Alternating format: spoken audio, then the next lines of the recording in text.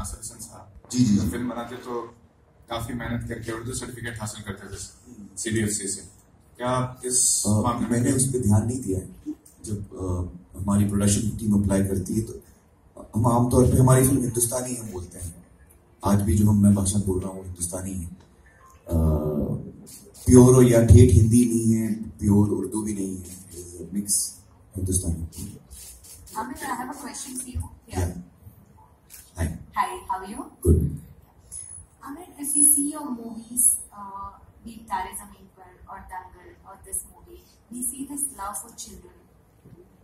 So, do you think the children and the industry having child artists in them is a new market ahead?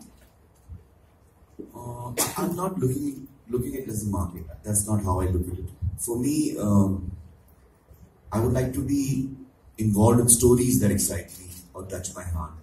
And when I'm selecting the story, I'm not thinking about that. I hope there are children characters in the film. That's not even in my mind. Um, once I love a film, a story, and I want to be part of that film, then whoever is required, we cast that person. In this case, we needed a young girl of 14, 15 years old. So it's a coincidence that I've done films with a number of children. Yeah. Uh, I have a question for Zaira.